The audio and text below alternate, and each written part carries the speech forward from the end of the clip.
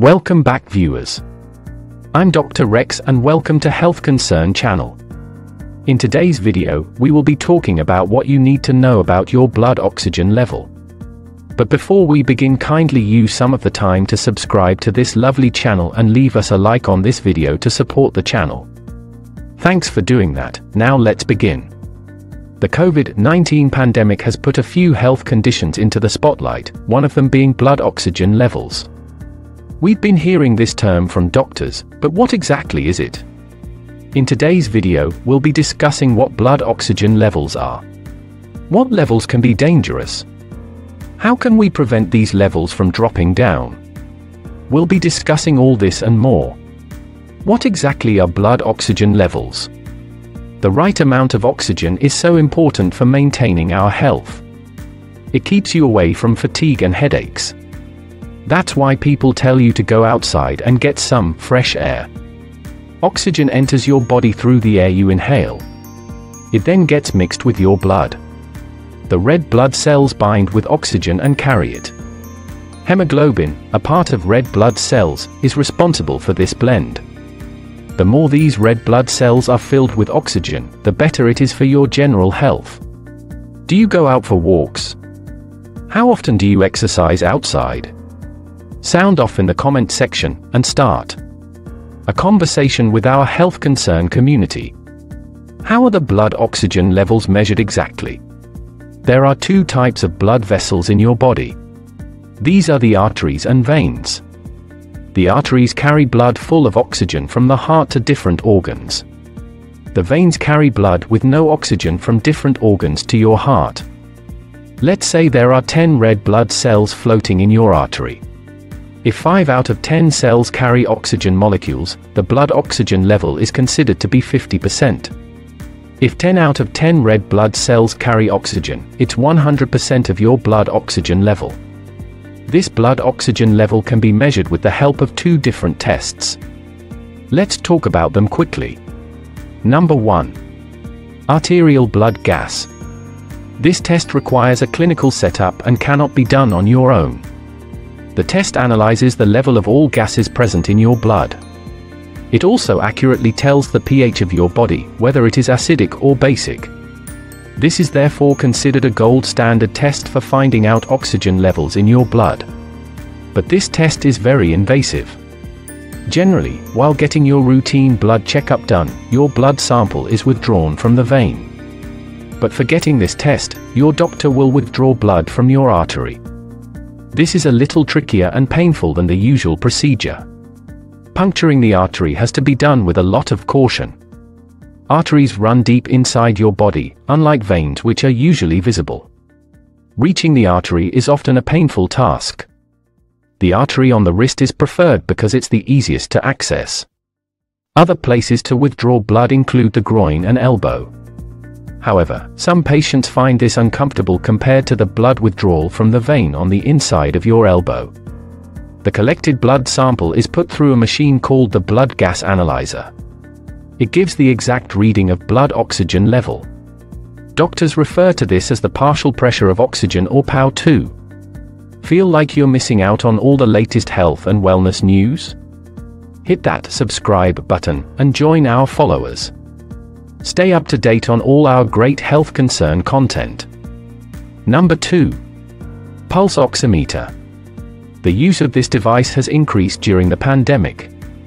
This is a mechanical device for external use only. That means there are no needle piercing involved. This should bring some relief for those who hate needles. It's so easy that you can purchase one from a store and use it on your own in the comfort of your home. Your doctor would be the best guide before you choose a device and come to a conclusion of your blood oxygen level.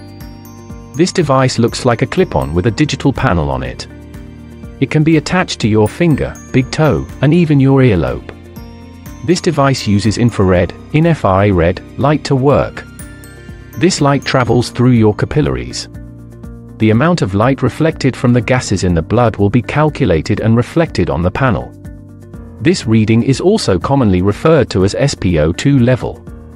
However, this handy device is not very accurate.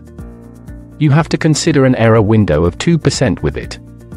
your actual oxygen saturation can be 2% higher or lower than the reading displayed on the panel. Make sure you take off nail polish before using this machine. Cold extremities can give you a false reading along with the above mentioned conditions. What should be the ideal blood oxygen level? A medical term used for measuring blood oxygen is oxygen saturation level. Let's see what the normal, below normal, and above normal levels are. Normal oxygen saturation. For healthy individuals, the PaO2 measure of the arterial blood gas level should fall between 80 to 100 mm of mercury. The SpO2 level measured by using a pulse oximeter should be between 95 to 100%. People suffering from lung diseases like COPD should not consider these numbers as normal. SpO2 level for such people can be as low as 88 to 92% and still be considered absolutely normal. The normal values differ in disease and conditions. Below normal oxygen saturation. This condition is also called hypoxemia and may require immediate attention. It's often accompanied by difficulty in breathing.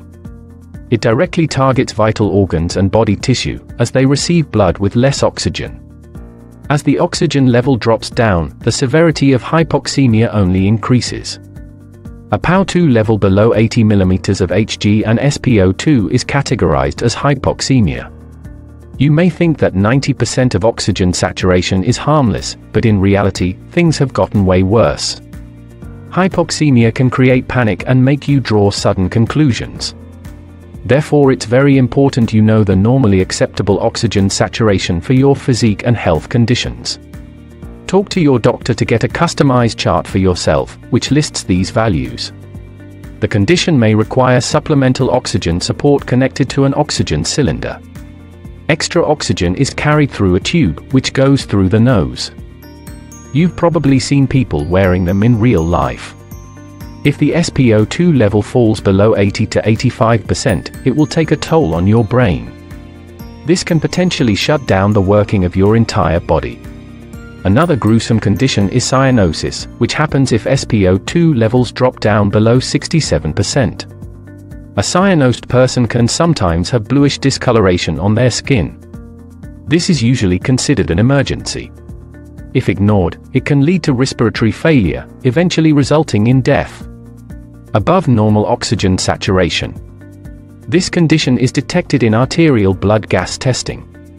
Patients usually have oxygen levels above 120 mm of Hg. This is a common finding with patients subjected to supplemental oxygen for more than 3 to 10 hours. Why does oxygen saturation drop in the first place? This can happen for quite a few reasons. If you love hiking, and do it on the regular, you've probably noticed that as you scale the heights of a mountain, it's harder to breathe. A few might even start gasping for breath. This happens because atmospheric oxygen itself becomes low at high altitudes. A few health conditions are directly related to hypoxemia. COPD, bronchitis, asthma, and anemia are a few diseases on this list. Another noteworthy condition that serves as the front-runner on this list is COVID-19. This viral infection decreases the capacity of your body to take in oxygen. It's never advised to measure oxygen saturation level during sleep. This is because the patient may or may not be aware of sleep apnea, which causes a change in breathing patterns with temporary cessation of breathing. If you're a smoker, you're required to check the oxygen saturation through blood tests only. A smoker will always have a high percentage of carbon monoxide gas mixed in their blood. A pulse oximeter cannot differentiate between oxygen and carbon monoxide gas. It will just give you a false reading. Another condition that pushes you into hypoxemia is a heart defect. In these cases, the heart loses its capacity to pump oxygenated blood to the lungs. This can result in multisystem failure. What are the signs and symptoms to look out for during hypoxemia? The symptoms may vary depending on the severity of your situation. However, a few of the big signs are headache, dizziness, coughing, strange breathing, confusion, fast heartbeats, and cyanosis. What can be done to spike up the low oxygen levels? If the blood oxygen levels remain seriously low for a long time, supplemental oxygen is the only solution. After you've recovered, you can do a few things to maintain that level. Lifestyle changes are considered to be beneficial to prevent hypoxemia recurrence. Yoga and meditation with breathing exercises have been beneficial in many cases. You can incorporate some form of mild to moderate exercise into your daily routine. Like includes walking or jogging. Ensure that you're eating a balanced diet and consuming lots of fluids and water.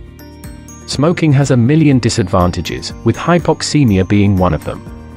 Needless to say, quitting this habit for good might add a few years to your life. Another quick tip is to avoid working in enclosed rooms for too long. Your blood is so important. It's not just some gross thing you don't want to look at. Do you have a pulse oximeter at home? Let us know in the comments below. Thanks for your time, don't forget to subscribe and like the video for more contents like this one. Bye for now.